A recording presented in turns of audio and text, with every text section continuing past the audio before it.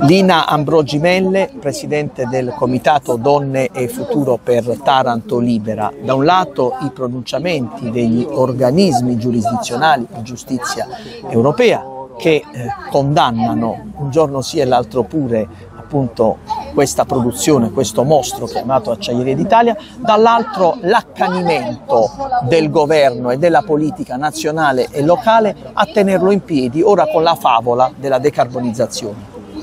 Eh, certo, è una cosa assurda, anche perché come ben sappiamo eh, vengono spesi molti soldi pubblici per tenere in piedi degli impianti che sono ormai vecchi, decadenti eh, e causano malattie e morti.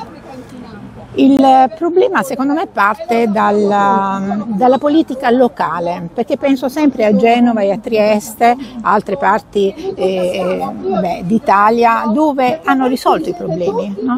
Possiamo ricordare a Genova hanno chiuso l'unico altoforno che avevano per ragioni sanitarie e hanno aggiunto contestualmente a Taranto un nuovo altoforno che è il più grande d'Europa.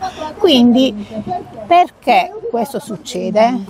Perché a Taranto nessuno si oppone, perché a Taranto ci sono le porte spalancate per tutte le nefandezze del mondo. Eppure il sindaco racconta la favola delle due ordinanze. Favola perché parla di, parliamo di due, eh, di due, ordinanze, io le definisco farlocche che hanno saputo soltanto fare il solletico e non colpire.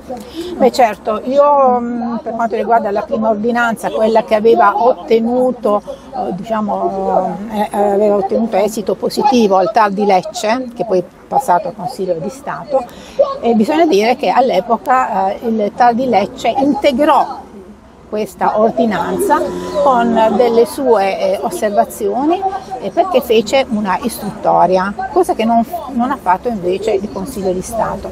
Io all'epoca quindi suggerì di integrare quell'ordinanza che chiaramente era carente, no? Se, eh, aveva bisogno di un'integrazione. Bisogno di un'integrazione, ehm, con, appunto con queste eh, osservazioni che avevano portato al successo. Eh, il TAR di Lecce ricordiamo che aveva ordinato la chiusura dell'aria a caldo, no?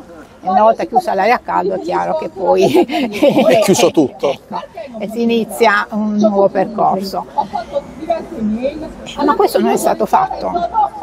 Quindi è chiaro che, eh, come anche eh, il precedente sindaco Stefano fece un'ordinanza, no? quando io portai diciamo, eh, un incontro i nostri avvocati di, di Roma, no? l'avvocato Saccucci che stava operando presso la CEDU, la Corte dei diritti dell'uomo, e il sindaco Stefano subito disse ma io ho fatto quello che potevo fare, cioè ho fatto l'ordinanza appunto, è come per dire oh, mi sono messa l'anima in pace. No? Quindi c'è anche la questione della popolazione, la popolazione di Taranto, io non so, è, è indifferente, è abituata, è rassegnata. È rassegnata. E, ehm, quindi manca mancano queste due componenti per avere successo a livello locale e quindi il sindaco, consiglieri comunali che dovrebbero mettere in testa a una proposta, una richiesta ben forte, sono complici, diventano la complici. dovrebbero mettersi in testa, ma anche la popolazione si dovrebbe, eh, diciamo, dovrebbe svegliare. Seguire, svegliare sì.